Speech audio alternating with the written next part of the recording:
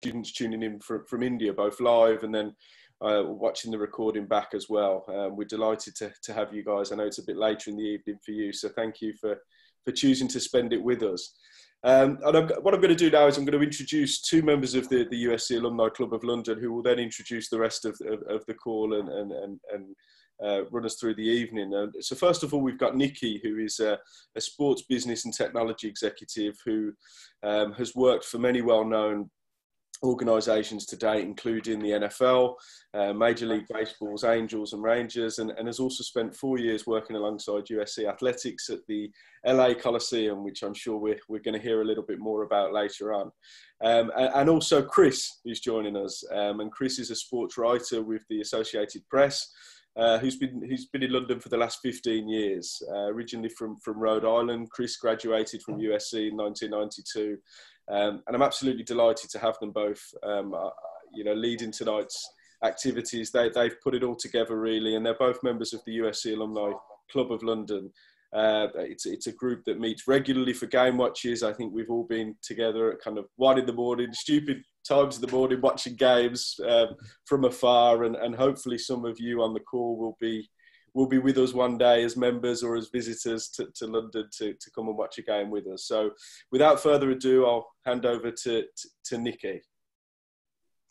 Hi, guys. Um, I am very pleased to be able to, to talk about USC and USC football to everyone on the call, especially those who don't really know too much about it and are looking for more information and you know this is a, a difficult time for everyone and i can't even imagine um, being told that i cannot attend football games for an entire semester at usc that is not obviously ideal for anyone but the silver lining is that we have some people here on the call that can really give you some some deep insights into what it's like to be a part of the usc family and um, how meaningful it is to be, you know, on the USC football team and, you know, just the whole USC community as, as a whole.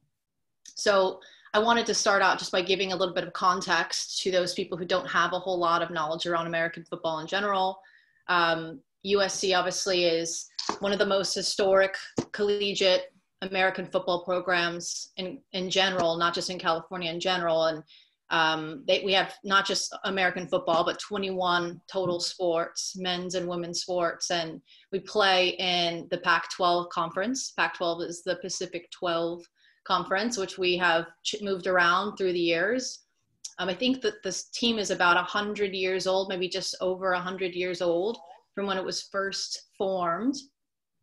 But we have the most team championships, the university as a whole, most team championships of all time for any school. Um, I'm sorry that we're third. We're third behind Stanford and UCLA. Unfortunately, we were up there pretty high for a while, but we are continuing to go back and forth with our rivals. Stanford and UCLA are other other very accomplished programs and the, the Pac-12 as well that you'll hear more about. But just to give you guys a bit of a of context for that as well, the most team championships all time won is right now is being held by Stanford 123 team championships. And the second all time is being held by UCLA 118. And USC is third right now with 107. So that is really impressive. And then right behind that, we've talked a lot um, internally about the Olympics and how USC has such a dominating presence within the Olympics. Um, we do have more Olympic medals than any university all time. So that's that cannot be debated. Um, we have 309 medals lifetime, which is unbelievable, and 144 gold medals that from student athletes who went were enrolled at USC. So it just goes to show, you know, if you want to be an elite athlete in general in any sport, not just in football, USC is that destination in general. And there's a lot of people who really strive and, and have that hunger to go to, to the university to have uh, to be a part of that family part of that reputation and to have be part of that brand that usc has been able to construct uh, for for many many years. If usc competed as a country in the olympics this is a, a fun fact we like to throw around it would be 14th in the world amongst all nations and 13th in the world with just gold medals. So you know that's if you want to be an olympic athlete usc is definitely the place to go um, now, when it comes to football, there's 11, 11 national championships that we have under our belt. I think that's tied for around sixth place amongst all universities. And then we have 18 uh, conference champions, conference championships. So that's just between the, the schools that compete in our conference. And then Heisman Trophy winners, we, are, we have seven, which is second all time between all of the, the universities. The Heisman Trophy is similar to like a, an MVP um, that's awarded at the end of each season. So that's actually very impressive as well. And then just a couple other stats that I think that are important to mention is the, the nation's highest bowl winning percentage. There's 34 Rose Bowl appearances. Um, if you haven't heard of the Rose Bowl before, the Rose Bowl is a very prestigious, um, reputable uh, stadium in Pasadena, just north of us, uh, where the University of USC is. It's used by our rival UCLA's football team as their home stadium, but it's also used as a, um, a bowl location for every year for that, you know, the, the most prestigious you know, competition between Pac-12 and the Big Ten. So let's see, we are also tied for first all time, tied unbelievable with uh, Notre Dame, another big rival of ours for NFL draft picks. So if you guys are trying to understand the kind of the football factory and how it translates into professional um, football with the NFL, we are obviously very high up there as, as well with 511 uh, draft picks total. That's as of the 2020 NFL draft. So we, you know, the Notre Dame are our biggest rivals for a reason. If you guys aren't sure who our rivals are, you now know Notre Dame, UCLA, and now Stanford is, is starting to become more and more of a rival. Um, I would almost, I, I like to make the, the kind of comparison of USC to people here in London and Europe as, as kind of the Man United of college football. Uh, the New York Yankees of college football because of our dominance for a long period where we were, you know, kind of envied by a lot of people and even hated because we were so good and, and we are still so good and have a, a history of that's very hard to compare with. So I just want to give one more shout out before we're going to play a quick video for the group um, to the Coliseum, which is the USC was USC's home stadium. It's called the Los Angeles Memorial Coliseum. Um, it was built in 1923 and has hosted three, um, sorry, two Olympiads in 1932 and 1984, and is going to be hosting the opening and closing ceremonies in 2028. So if you're lucky enough to be around LA and or USC in 2028, you will be experiencing you know something unprecedented, which is you know the Olympics taking over and that summer taking over campus and the whole city, which would be wonderful and um, and yeah, we're gonna I'm gonna play a quick video and do a quick intro, and we're gonna we're gonna go from there. Hold on one second, guys. Let me share my screen.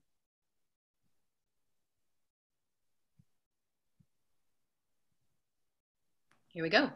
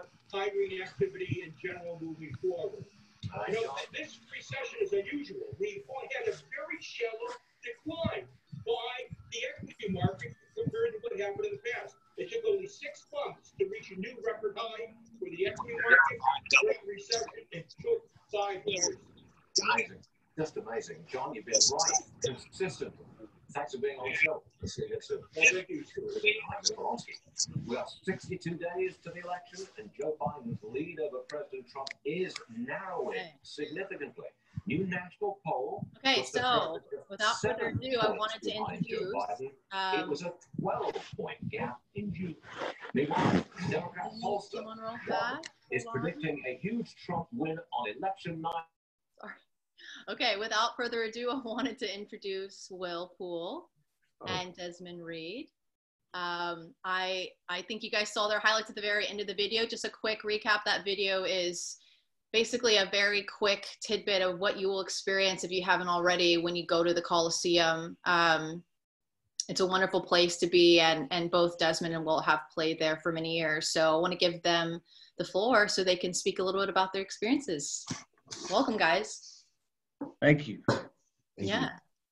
I appreciate it. No, um, so I guess I'll go first. Thank you guys for having me. I appreciate it to be able to talk to to you guys about my experience at USC and um, you know, uh, the the family, the familyhood, the brotherhood that I've, uh, um, you know, have able to experience while I was there on campus. But, you know, a lot of you guys are either incoming freshmen or um, some of you guys may be sophomores, juniors, seniors. But just to not be able to be on campus and be amongst your your counterparts and um, you know be a part of the experience and uh, feel the energy on campus, I really feel your pain because that is one of the biggest parts of, uh, of college, right? And this, this time in your lives, you guys are 18, 19, 20 years old, um, you know, uh, being able to go to parties, games, yesterday. Um, uh, you know, uh, just experience in class, you know, meeting new friends, um, you know, dating, whatever it may be. Uh, you know, that's that's something that you guys are missing out on. So I, I feel the pain. But um, so you know, once I got to SC, I was class of 2000, um, 2007. So I got there in, in 03. And, uh, you know, we were basically known as, uh, you know, one of the best recruiting class ever to, to come into USC. We had a lot of, you know, big time names, five star guys. Uh, I wasn't one of them, but I was going to try anything and everything to, uh, to, to get on the field and, and to contribute to the team.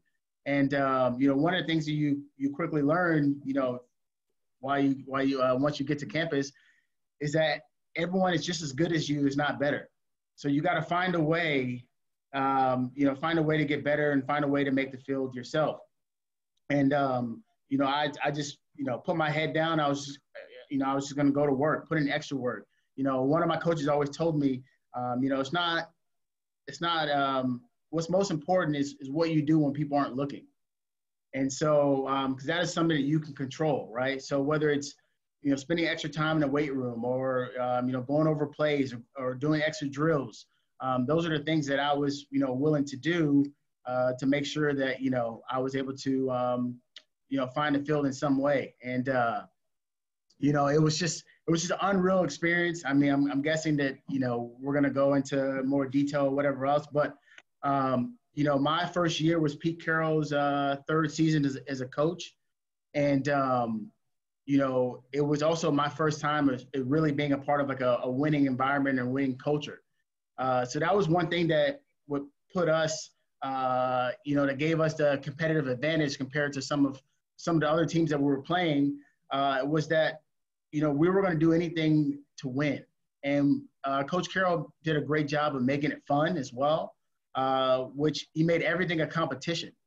And so that was really, um, you know, what got us going because you would take all the offensive positions um, and we would do one-on-ones, you know, where, so if I was a running back, we're going to do drills against the linebackers. Uh, if you're a receiver, you're going to do drills against the DBs, the defensive backs. Um, and so, you know, we just, we just collided and bumped heads every day and just got after each other. And um, because we are recruiting, we're recruiting great talent as well. Um, the, the guy you're going against is a, is a five star on the other end, right? He's a five star linebacker. And so he's just going to make me better at the end of the day when it comes to that competition. Um, and I still remember this. So Mondays, we did um, Tell the Truth Mondays. So you watch a film from uh, Saturday's performance and you would literally go over every play and see, okay, what did you do well? What did you do? Uh, what did you mess up on? Um, you know, how can we get better?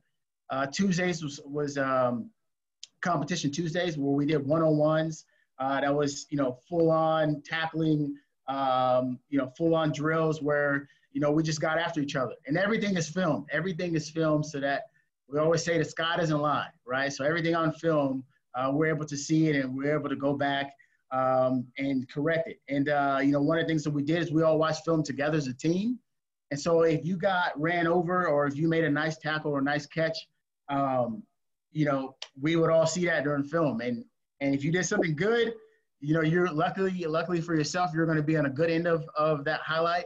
But if you did something bad, everyone's going to laugh at you. Everyone's going to, you know, uh, make fun of you, clown you, whatever it may be. And so that made you not want to be on film doing something bad, right? You wanted to say, okay, you might have got me today, but tomorrow uh, it's going to be a different story. And so, um, so that was competition Tuesdays, and then uh, Wednesdays was uh, Wednesdays was um, no repeat Wednesdays. I think it was uh, no repeat Wednesdays, where we would go over game plan and uh, get prepared for Saturdays. Um, and then uh, and then Thursdays, obviously, we're going over the last the last game plan of what what that was going to look like, uh, what plays we're going to run, what order we're going to run those plays, and it just made everything fun. Um, you know, one of the other big things I'll, I'll, say this as well before I let Will go in um, is that all of our coaches coached or played in NFL, so they knew exactly what it took to get to that level. Um, they knew exactly, uh, you know, what mistakes we would make as 18, 19 year old uh, player and what to look for, right? And how to correct those. Um, you know, and so that also made us better because, you know, we're learning from someone that's, that's been there, that's done that. And um, uh, also someone that's used to winning. And uh, that, that just, you know, that just made everything um, that much sweeter because I knew that my coach was going to lead me in the right direction and he was going to get me exactly where I needed to be, put me in the right position as well to make a good play. Um, and uh, and then also too, our coaches got in it. You know, they got in part of the competition. Um, you know, uh, my running back coach played in the NFL. His name is Todd McNair. He played in the NFL for 10 years.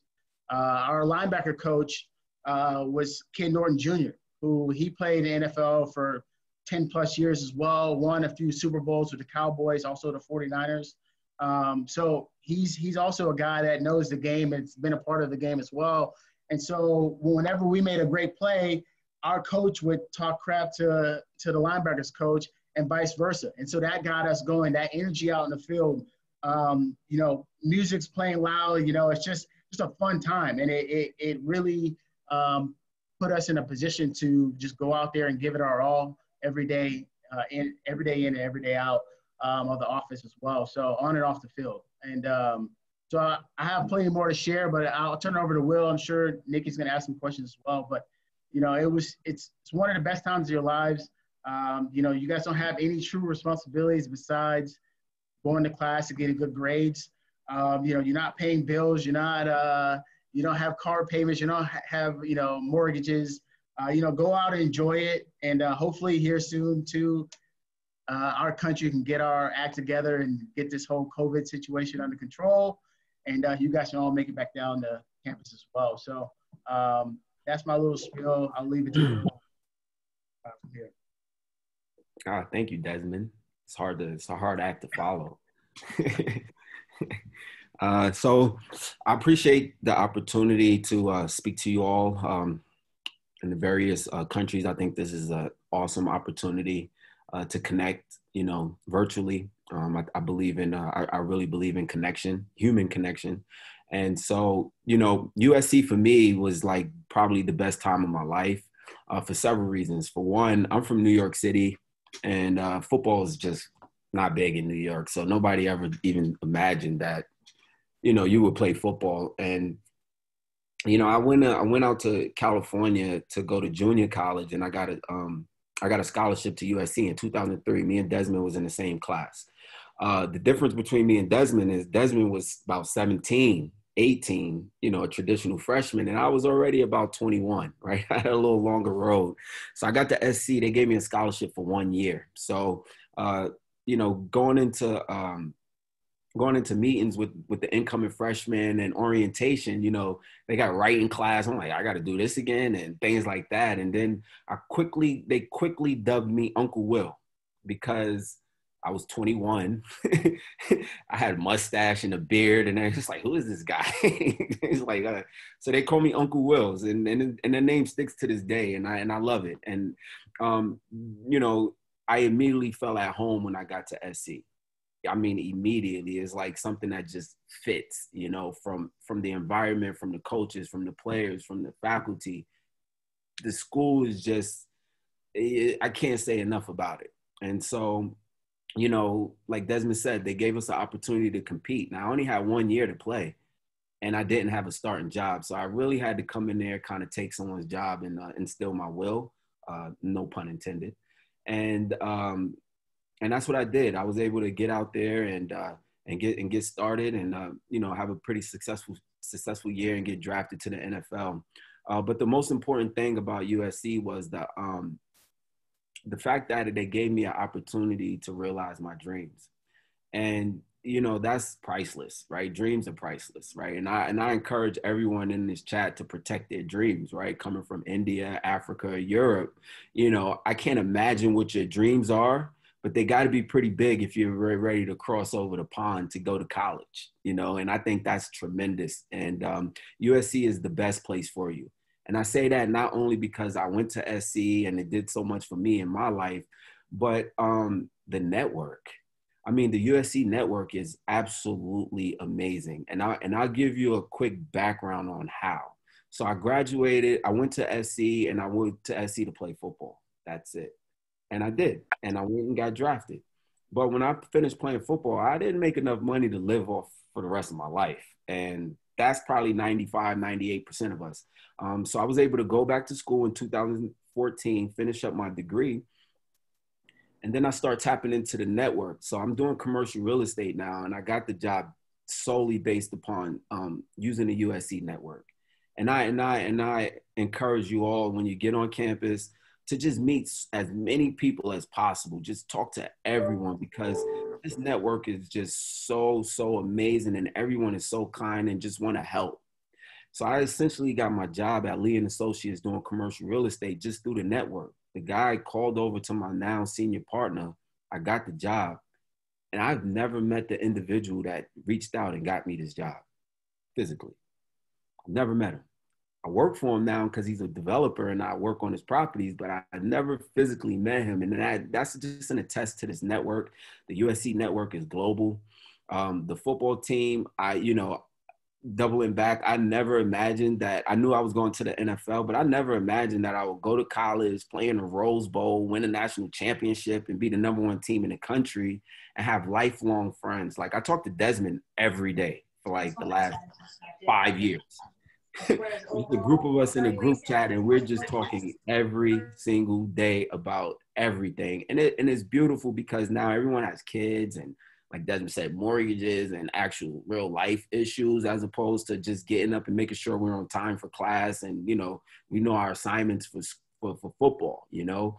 And um and that's an attest to the USC network and what USC means to myself what it means to Desmond football players and just everybody that you come in contact with that went to USC is gonna have the same, you know, experience. It's like this.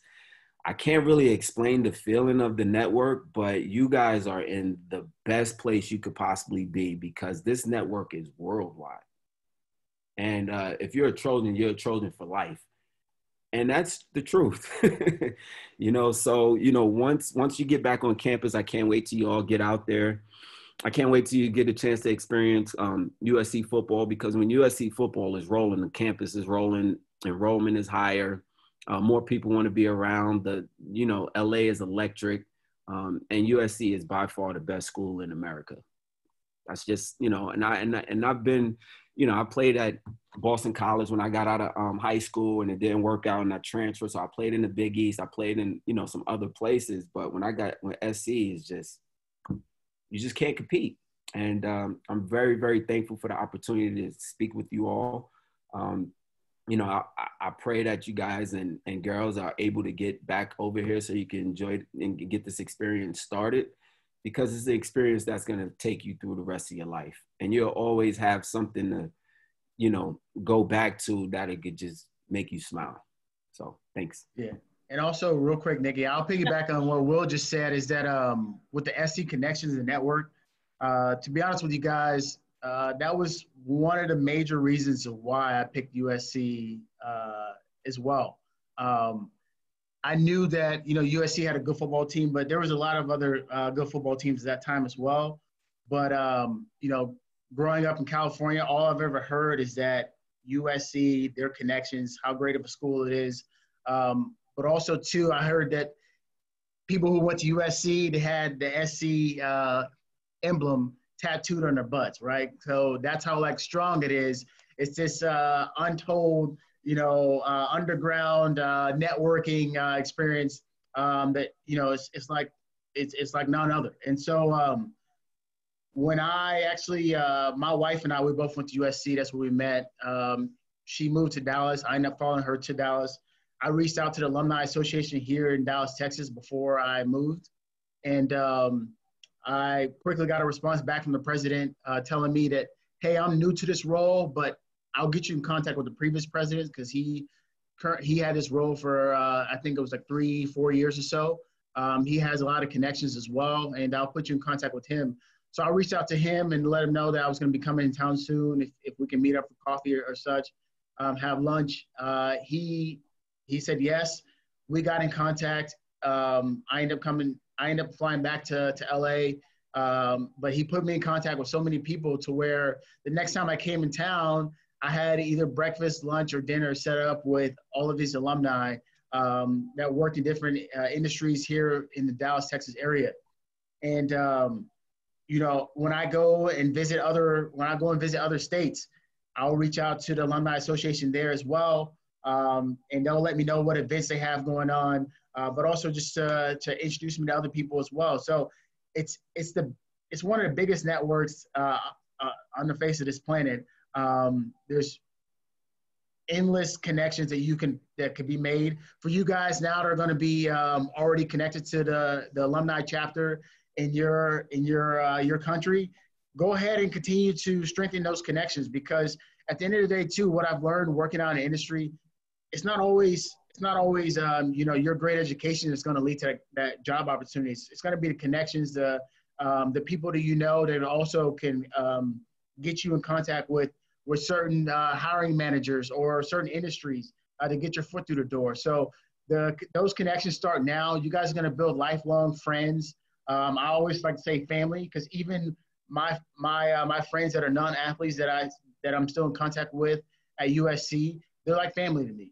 Um, you know, and uh, um, you know, during this time, you know, you're going to meet your new best friends and lifelong friends as well. So take advantage of that. Meet anyone and everyone that you can on campus because you never know what what type of relationship you're going to build or what type of opportunities that the next person next to you uh, might have and could share with you as well. So, um, you know, always take advantage of that because we have one of the best networks. Thank you. Sorry. I, I just have one thing to say, just last thing. Yeah, yeah. Piggyback on Desmond. Um, just so you know, SC across the board, academics, athletics, everything around it, it has a degree of excellence attached to it. So, kind of what Desmond was saying in football competition Tuesday, that's in everywhere in SC, and it's a it's a beautiful aura of excellence and expected excellence. Um, confidence, not cocky, but expected excellence throughout the entire university is what's expected from everyone. so uh, you guys are in good company. It's going to be great. So speaking of excellence, both of you played on championship winning programs, championship winning teams. I'm going to ask a question that I think most people on this call mm-hmm. are watching this, a virtual event, want to know is what was it like to to play on these kind of infamous squads that just about any any you know kid at the time watching these these games would have given anything to be one of to be one of you to be on that team and to be a part of that that family in that moment um, i also want to just make sure you guys expand on you know what what the the term student athlete means because we don't really have anything like that outside of the us right so mm. um, what it's like to to have basically a, a full time job as you know a semi pro athlete um, alongside of your you know full set classes and the dynamic that it creates between you and your fellow students who aren't athletes um, and how that how you, you know, how special that can be is to have your classmates that you sit next to who you study with um, you know who you you find time with as, as much as you can outside of your very demanding schedule to come and see you play on game day at the Coliseum or away, traveling to another state sometimes or across the country sometimes to support you, what hmm. that's like because you're just going to see them next Monday for that exam in the morning and you both have the same workload in the classroom but not off the cl- off the off outside of the classroom on the field. So that's that seems like a very special hmm. element here. I want to make sure you guys speak about. Go ahead, Will. Well, a student athlete is just that, a student athlete. In some university, it might be even athlete student. so, you know, I got a scholarship to go to school to play football. So it was expected for me to excel at football first. I mean, for lack of, that's just the way it is, right, in America. So, um, you know, that balance is important because ac- academics is hugely important. Football and sports can be taken away from you like that, but you know academics is something that will carry us through. So it was um it was a very difficult thing to balance you know being at, at practices making sure that you're up on your assignments making sure that you know you're dealing with the anxieties of whether i'm starting am i the guy you know all the different uh, pressures of uh, not being home. Like i was 3000 miles away from home in a new place that was like a complete culture shock. And so you know you miss your family. It's so many different uh, things that come into play um, as a student athlete. I mean, you know, the amount we have to all have classes in the morning. Our classes have to be done by a certain time because we have practice. Don't get injured in football, which is like never happens. As soon as you play, you're gonna have a little nick or bump or something. So you're gonna have to do training, treatment. You got to do your your workouts. You got to do practice. You got to watch film. You got to do treatment after. Oh, and then by about seven o'clock at night, you got to go to study hall. because we still got homework to do. So a lot of guys are not done until 9, 10, 11 o'clock at night to wake up the next day to start the day over again at 6 a.m., whether it's practice, workouts, class, whatever it may be. And that's just our lives. And we understand that and we know that. And uh, the university does a great job of nurturing us with that, where, you know, we have food, you know, we have, um, you know, the medical staff, we have all the things that we need. But, you know, it is important to understand that an athlete is a little different than just a student because you got the opportunity to just go to class. So if you want, if you're a late riser, you can start class at 11. You can start, you can start class at 1, 8, 1 p.m.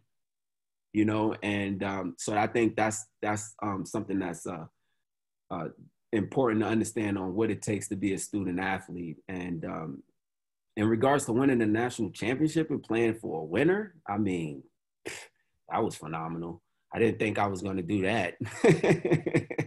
but I tell you one thing, uh, you know, especially in the business world, right? We all we all hear this, you know, we all look for athletes, and that's true. We all want athletes. I want winners. I want athletes that were winners, right? Because it's a difference.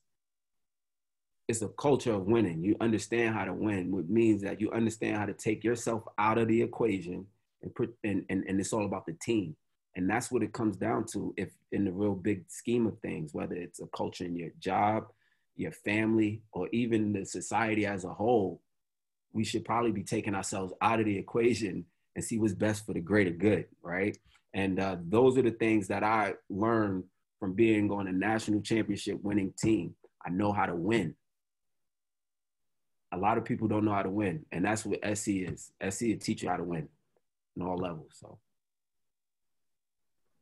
yeah, and and also, um, so student athlete, student athlete is someone that gets pulled in every direction, right? So you're you're pulled thin, right? So um, you know, one big part that Will left out is that early morning workouts, those were killers. Uh, we're working out at five, five thirty in the morning. Um, you know, we're rising and grinding before anyone is even woken up to brush their teeth, you know, and um, that was the first stage of, you know, we did that three to four times a week. We have to work out at 5:30 in the morning. eat a quick breakfast, go to class. Um, you know, after class, uh, you know, grab a quick lunch uh, in the middle of the day. Then you got to go and watch film. Uh, so watch film on your opponents that you're going to be playing.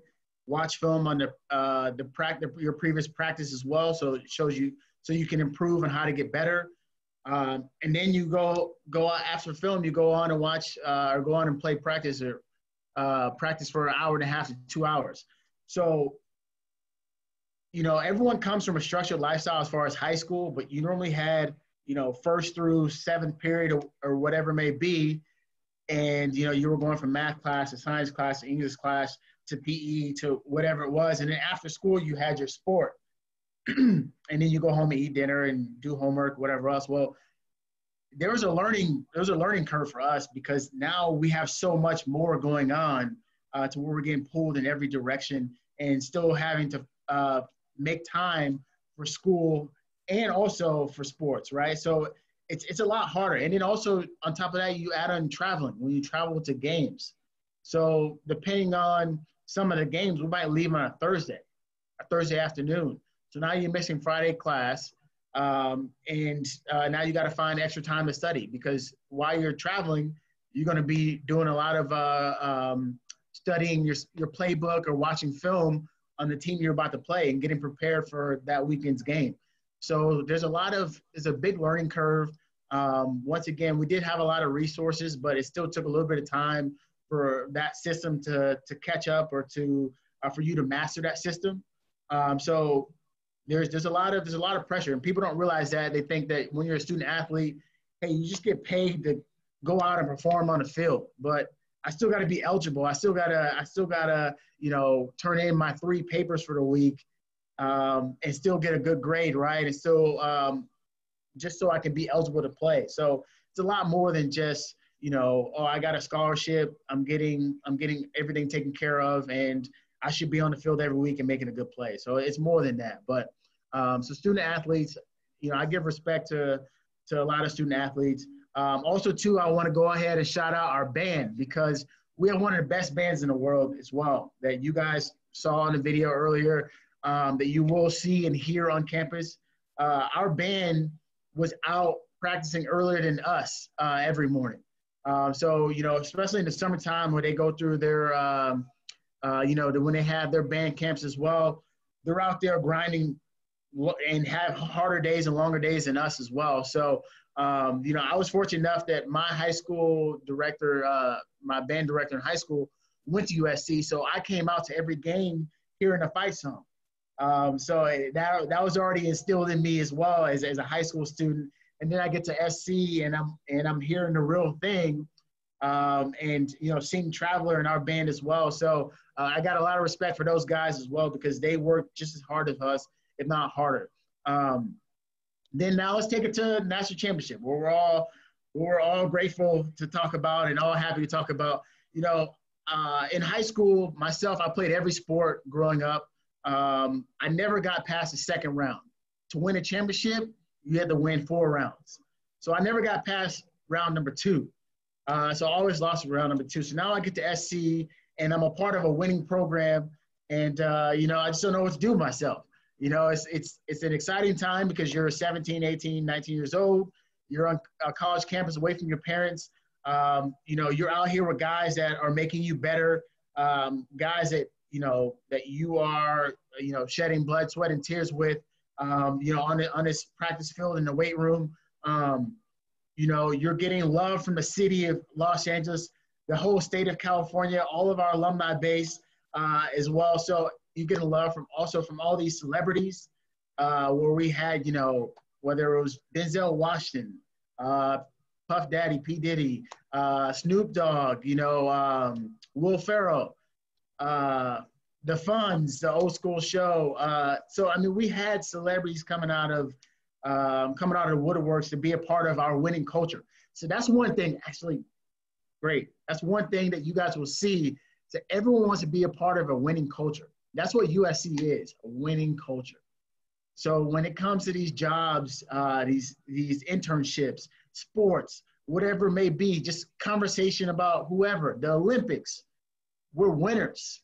So academics, it doesn't matter. Uh, our law school, our business school, uh, so on and so forth. We're just winners. That winning culture, people just um, it's it's that winning culture is like a magnet, and uh, we just bring everyone from around us um, closer and closer. They're, they're drawn in. They want to see what that's all about. Uh, you guys will see that, and it's that energy is just it's amazing. Um, I will say that winning a national championship as, as well was that is the hardest thing that you can do, right? Because you got to be great week in and week out. Um, you know, sometimes as well too, you might have a game where you're not going to start off uh, the great. You know, you're not going to start off, uh, you know, winning right away, and you know, but you got to regroup. Um, you know, one thing that we always did is that we always um, we outworked everyone that we played.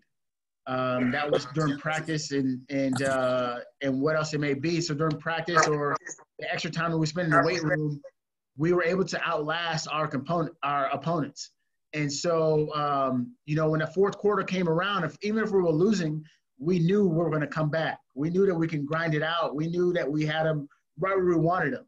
And uh, you know from there on, we put our foot to the gas pedal, put our foot on their throats, on their necks, as we like to say and uh, we just kept pushing. And um, and you know, throughout my career there at USC, we won two national titles. We played in the third, uh, but we lost that one. Um, but you know, we won the Pac-12 every year, and um, you know, we either won a national title or we won the Rose Bowl as well. So uh, it was a great run, a run for the century. Um, you know, we are considered to have one of the best dynasties ever to ever uh, uh, exist in college football. And uh, I'm just proud to be a, I'm proud to be a member of that team, and I'm proud to call Will my brother, and, and uh, to be able to shed uh, you know blood, sweat, and tears on the field with him was was was an honor. Guys, you know, you talk a lot about the atmosphere and this is a question that just came in was talk a little bit about what it's like to play at the coliseum and what a game day what it's like if you can describe it from your perspective um, you know a lot of people perhaps haven't actually experienced it yet on the call and i don't think they necessarily realize that just one loss is is so devastating it can eliminate you from any playoff contention and so basically every single game your the, the potential of a championship is on the line so there's a you know a very um, a, a, level of intensity that exists around the games that you probably wouldn't be able to replicate with other sports. But I'm curious to hear what you guys remember from the Coliseum in the 2000s. Uh, what stands out about that, Mr. What like really makes it, you know, that the USC experience for you? I'm gonna just go on electricity. It was so electric. Imagine just 92,000 people it actually can fit, but it's standing room only. Hottest ticket in town. On my recruiting visit, Carson Palmer threw five touchdowns versus Notre Dame in the night game. And it was so electric, I already knew I was going.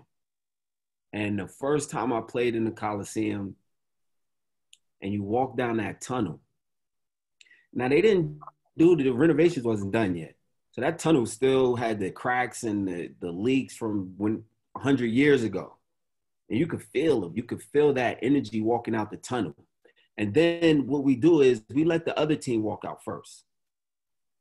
And then we walk out behind them. And the band is in between us. And when they walk out, our band does the fight song on their sideline to let them know it's about to go down. And it's very intimidating. And then we come out there and we just, our practices were harder than the games. So by the time we got to the game, it was like, look, I had a I had a week going against this guy. He he, he made me really upset. I'm going to just take it out on you.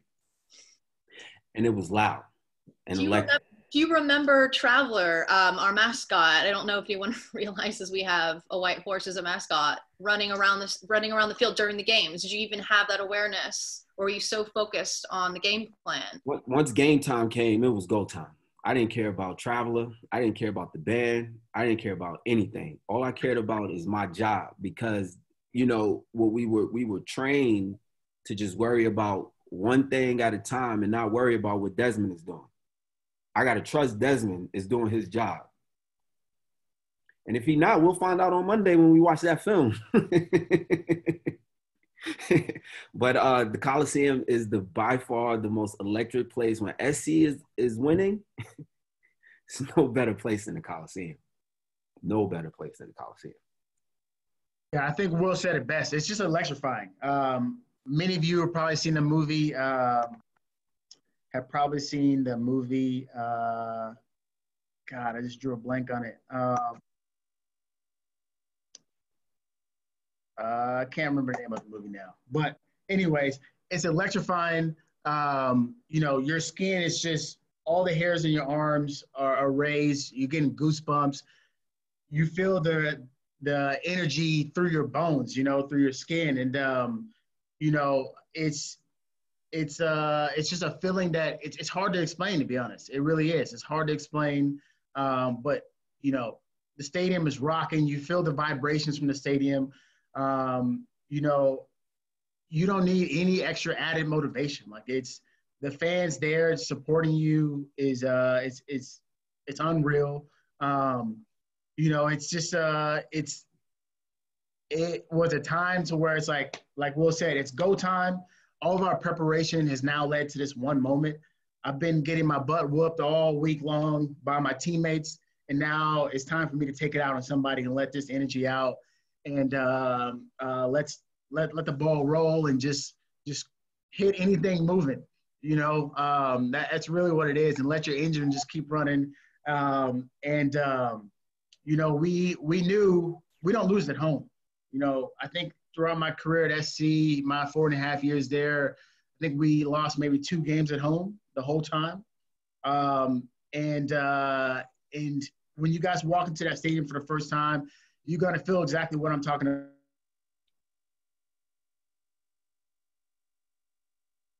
Oh, did we lose Desmond for a second? Oh, we just lost you for one quick second. Okay. You're back. Uh, can you see me now? All right, cool. Yeah, yeah, you're good. Um, so when you walk into that stadium for the first time and the music's playing, Dropping.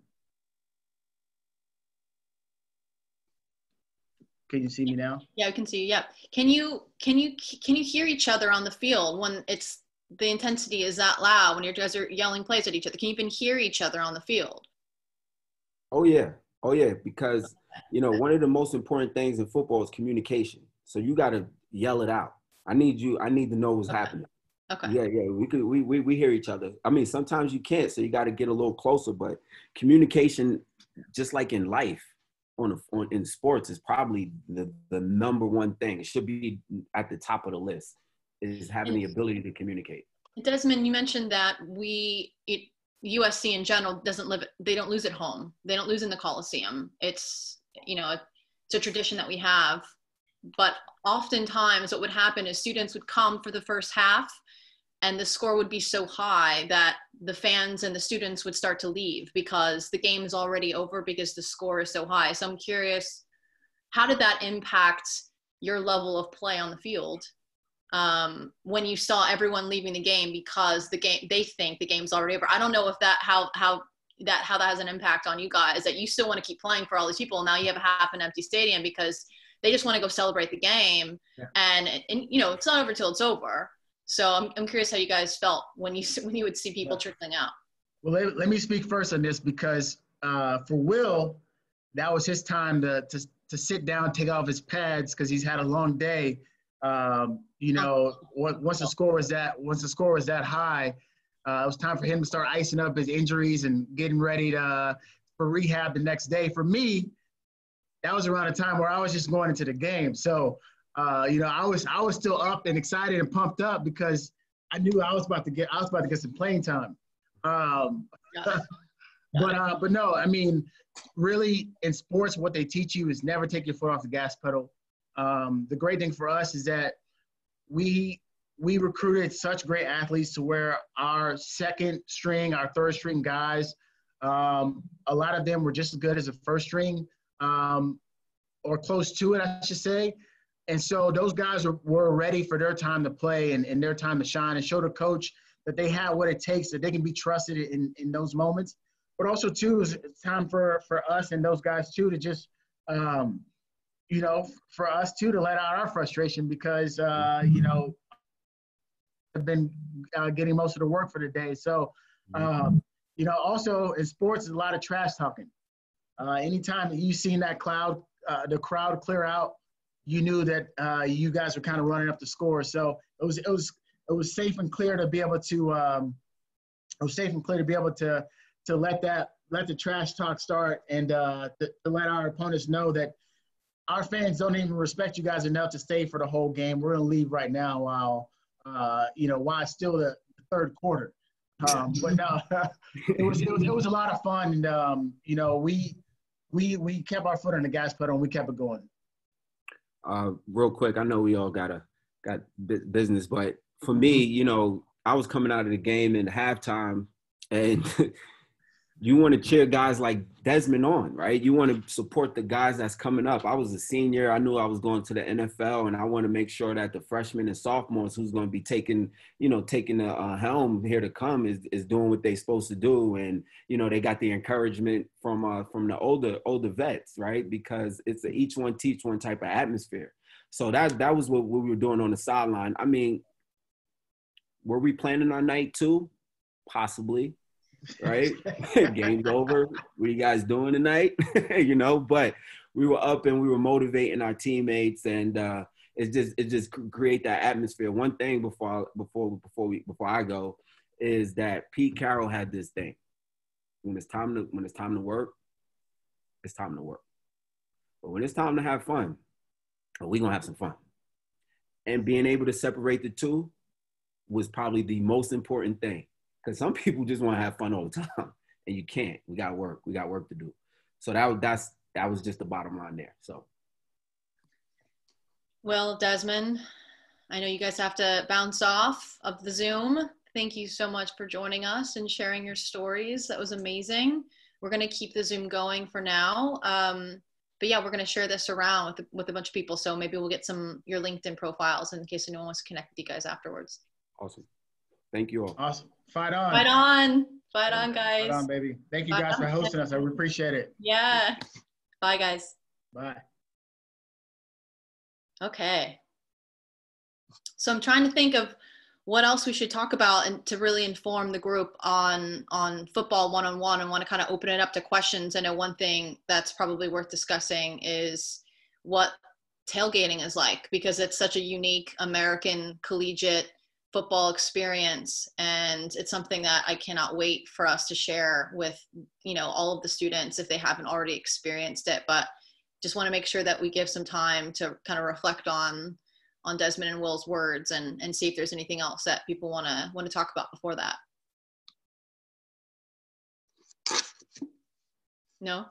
Okay. So so game day.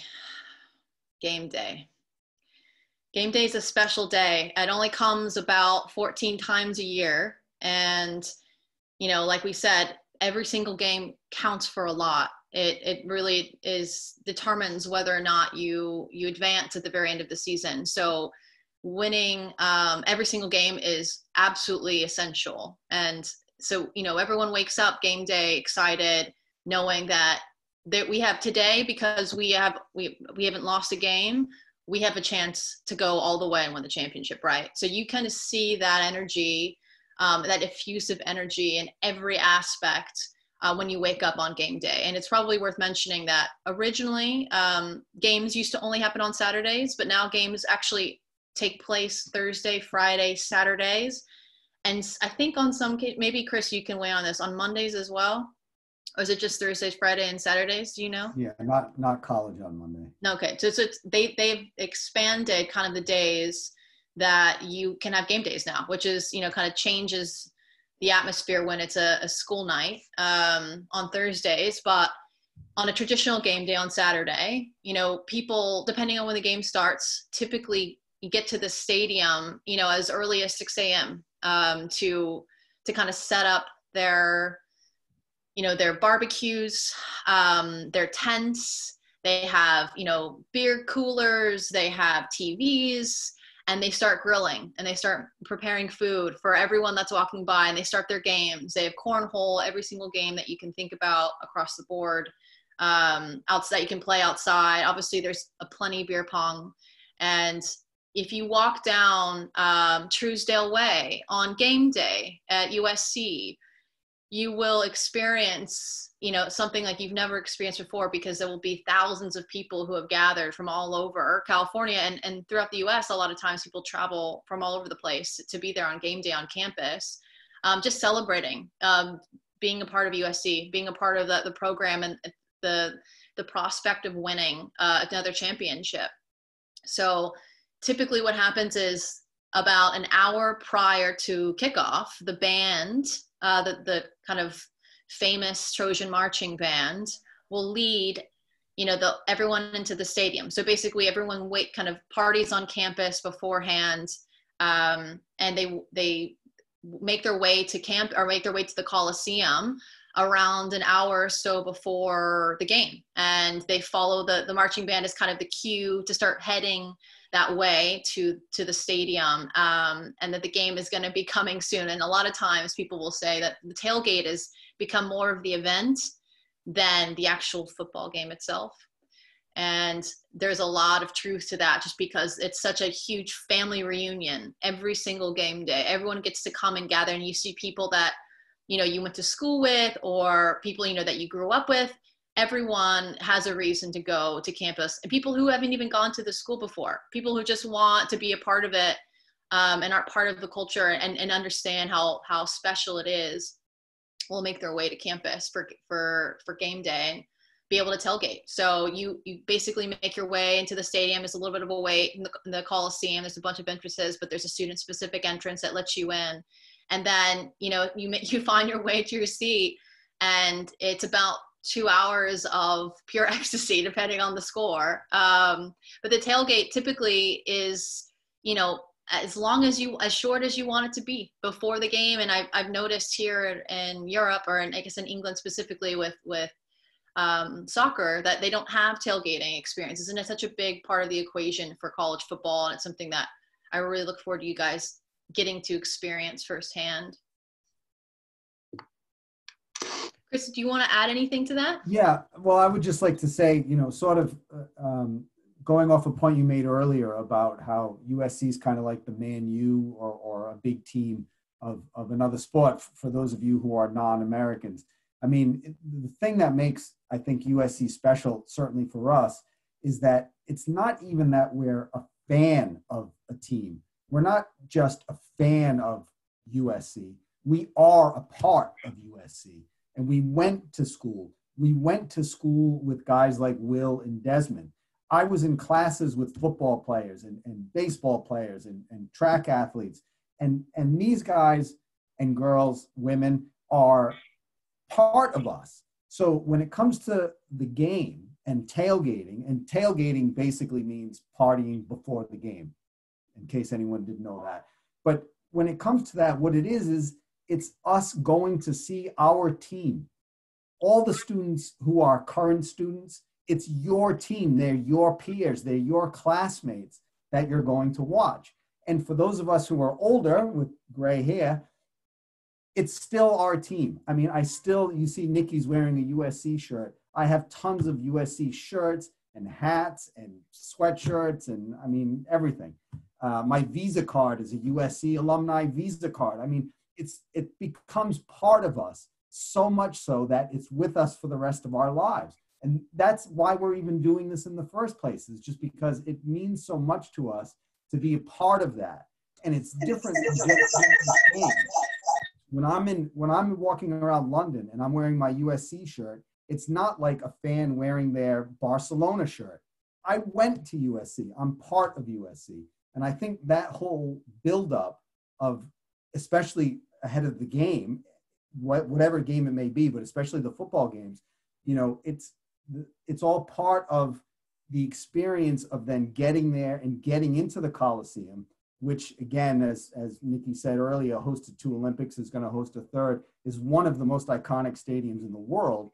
You go in there and it's packed, and the atmosphere that Desmond and Will talked about. I mean, it just isn't really comparable to other sport to most other sporting events, except when you talk about like a World Cup final or something like that. I mean, these are just mega events for you, the student. It's your team. That's it. Well said. Well said. I the only thing I, I really want to make sure we finish on is um, the fight on V for victory. Some of you guys may have seen this. Um, maybe you haven't. I actually cannot recall the origin of the V for victory, um, where the fight on um, origin came from. I believe it was from a newspaper editor, because I don't know if you happen to know that either, where that that saying came from. But it is kind of the slogan of our of our program and something that you can very shamelessly throw out anytime you see anyone wearing anything with USC on, and they will return it no matter what 100% guaranteed they will they will send a fight on back to you. Um, and it's something you'll experience a lot on campus as well. It's, it's so cool that you can see people kind of riding around on their bikes um, just throwing it out at each other friends friends of, if you see your friend on campus if you see a, a, like a famous football athlete on campus they'll return it as well. But it's something that i've seen translated over oceans quite frankly, that when I see anyone wearing any any USC um, clothing, it's it's an automatic return. It's an automatic connection that this person is part of the same family as me, and and I just want to make sure that you guys understand you've made the best decision to be a part of this family, this USC family, because there is no other family like it. James. Can I just ask a quick question? I am not sure if it was you, Chris. So I, I might be setting you up for something you don't you don't know about. But was was there an instance at Fulham with uh, Will Ferrell in the? Yeah. Do you want to? So, uh, want me to tell that story? So this this is about the fight on sign. Yeah. Um, I, yeah, I okay. have I have season tickets um, in London to see Fulham, which is a Southwest London club. Not one of the more famous clubs, but a fun little little team to to go and watch. And um, last year, in about October, it was during football season um, I was at the game. I was sitting in my in my seat, and which is sort of right next to where the um, where the locker rooms are and where the families sit, watching watching the game. The families of, of the players. And one of the guys next to me, he, he leaned over and he tapped me on the shoulder and he said to me, "Hey Chris, is that Will Ferrell up there sitting there?" And I turned and looked, and I'm like, "My God, that is Will Ferrell!" And and it was kind of close to the end of the game it was a Saturday and we had a game that day. And I happened to be wearing one of my USC t shirts with a big USC across the chest. And so when the game ended um, and, and the players started walking towards the locker room and, and everybody sort of stood up, I just turned slightly to face exactly where he was. And I looked right at him and he, for some reason, he turned and looked straight at me. I get, he probably saw the bright red shirt. And I just went like this and he looked at me and he straightened his back and he went and that was it. I turned around and, and, left. The game was over. But but will ferrell and i had this mini connection from you know i don't know 100 yards 200 yards away at the end of a fulham soccer game. So. Will ferrell the i'm sure the funniest trojan of all time. Who i'm not sure when he graduated but i do know that he went to usc he was there at the same time as me. I think oh, okay, a there year, you go. year or two older but there you go. yeah. All right, James, anything else you want to say before I wanted to add up? one thing real quick. Oh, I hey, Des. Yeah, I jump back on just to add this. So yeah. uh, for all you students out there, obviously everyone is um, uh, going to be enrolled into school, learning from home. Uh, but I encourage all you guys to get involved with groups or clubs on campus. Um, you know, obviously you get, it's hard for you guys to meet new students, new friends, but that's a way to get involved. Uh, a lot of these clubs will be having uh, uh, meetings uh, on Zoom as well, so you can get involved in whether it's something that you um, uh, common interest you have, or whether it's something to do with your major on campus. There's always going to be something for you. Um, as well, too, when you finally do get to campus, um, find out uh, opportunities where uh, SC will be doing stuff uh, back home that can help your communities or your country as well. Um, a lot of these, there's a lot of different um, schools uh, within SC that might be either um, you know, some some of these schools have like outreach programs where they'll go to different countries and um, you know provide a fresh water uh, source for different villages or whatever it may be. Find a way to get back and help others. There's a lot going on on campus. Get involved early on as well. Um, some now more importantly, or now it's, it's most important for you guys to get involved early on because you are you are away from campus. So uh, that's a way for you guys to meet friends. Um, you know, start to to um, start to get involved now and at an early stage. Spot on. Thanks, Des. No problem. See you All guys. right. Yeah. James, anything else you want to say before we go? No, I mean nothing really. Firstly, thank you for for, for, for everyone who's attended and for for Niki and Chris for putting this together. I think it's been I, I've been kind of smiling listening to all the stories. I think it's been it's been fantastic. Um, we've got a few minutes. I, I wouldn't mind knowing knowing your favourite kind of USC football moment, if if there is one, or if there's a moment that kind of that stands out for, for both of you. I've put you on the spot here. This this was not rehearsed, so I just I don't know. Chris, you go first. You go first, so I can I can think of mine. Well, I, I, I definitely have one. Um, I mean, on the field, let's say, or when the USC team was on the field, I suppose it would be winning the national championship in, in Miami. I, I went to, to the game there. Unfortunately, I went to the game the next year at the Rose Bowl and, and we lost to Texas, but we won the Orange Bowl and the national championship.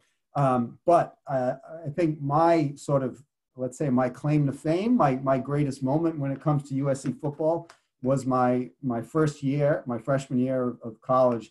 Um, when we played UCLA. Um, it was 1988, and um, we were we were nine and zero. UCLA had been number one at around Halloween time and lost, I think, to Washington State maybe. Um, and then we moved up. Notre Dame moved up to number one. Um, I think we were number two. And anyway, we were going into the game against UCLA. We still had Notre Dame to play at Thanksgiving a week later and um, Rodney Peete was our quarterback. He finished second in the Heisman Trophy um, voting that year, and there was question whether he had the measles and stuff. Anyway, my buddies and I in the dorm, we decided that we needed to do a prank on UCLA, which is which is a tradition they've really tried to cut down on recently. But it used to be that you that the students did a lot of pranks to the other team. So we were trying to think of a good one, something that maybe would be remembered. So certainly I remember it, but I'm not sure anyone else does. But what we did was um, we got six of us, one guy driving and five criminals, let's say. And um, we bought, we drove to Pasadena, which is where the Rose Bowl is, in section of Los Angeles. The game was going to be at the Rose Bowl. And we bought 250 pounds of flour. So that's about 100, let's say 120 kilograms of flour each with a 50 pound bag each. Um, we then broke into the Rose Bowl, and with our huge bags of flour, we wrote USC number one in the middle of the grass in gigantic letters. And then we went into the end zone where the at the end of the field where one side says Bruins and the other side says UCLA, and we wrote a gigantic F in front of the UCLA. So FUCLA is something that we say to them, which is not very uh, nice, but anyway, and uh, and the USC number one in the middle. At the time, um, they didn't have any U- UCLA writing in the middle of the field. It was just blank. It was just a big green space. So so we did that. We were very proud of ourselves. We went back to campus, and one of the one of our friends in the dorm said they're just going to sweep it up. I mean, no one's going to see it. So we're like, God, you're right. Let's go back. So we drove back to Pasadena and we each bought huge, like three gallon jugs of water and we watered all the flour so it would cake in. And then when the sun came up, it killed all the grass underneath it. So even though they were able to take off the flower in the middle of the field before the game, you can you can see it on YouTube. They, the game's on YouTube you can see the burnt out grass underneath it, USC number one. And wow. you can see a lot of the, the, the flour still in the end zone for the F um, during the game because we use so much on the F that uh, I don't think they could get it all out. So that's that's my favorite USC football, and we won. I can't compete with that story. I'm afraid. Um, I hope they're still not looking for someone, Chris, because I think yeah. you just, you just incriminated yourself a bit there. It's incredible. It's an incredible story. Yeah, uh, my my me- most memorable USC memory is probably what Chris mentioned at the very top, which was at the Orange Bowl in Miami, winning a championship over Oklahoma, which is also a very prestigious program. Being from Texas, it was even sweeter to see that we were beating a team that you know that basically the the whole state rallies around their their program um, every time they play. So for me, it was the sweetest way to start um, or because i was actually in school enrolled in school winning a championship and there was just there's nothing like that to know the timing that of your program. They're winning championships while you're in school. It's pretty unbelievable. So hopefully everyone that is watching this will also get to experience winning a championship while in school. It is one in a million and and it is very very possible if you go to usc Brilliant. Thank you both so much for, for putting this together. And, and I know Desmond and Will have gone now, but for uh, thank them as well for, for joining in. I think a couple of people have touched on the kind of worldwide lifelong network and this event is kind of testimony to that. It's it's you know it's we've got people from all over the world tuning in. We've had speakers from I think was it Texas, LA, um, Sweden, is it Sweden, Chris, and, and, London and everywhere. And and you know thank you so much, Niki and, and, Chris, for putting this together. I think it's been it's been really wonderful. And if you're watching live or if you're watching the recording, we'll we'll share kind of um, I guess your LinkedIn details. We can we can add that um, so people can connect to you both and and and the guys before as well. And um, yeah, thank you, thank you both so much. Is there anything else anyone wants to add or just fight on, fight on forever, fight on forever. Thank you all so much. Okay, guys. great evening. Take care. Bye.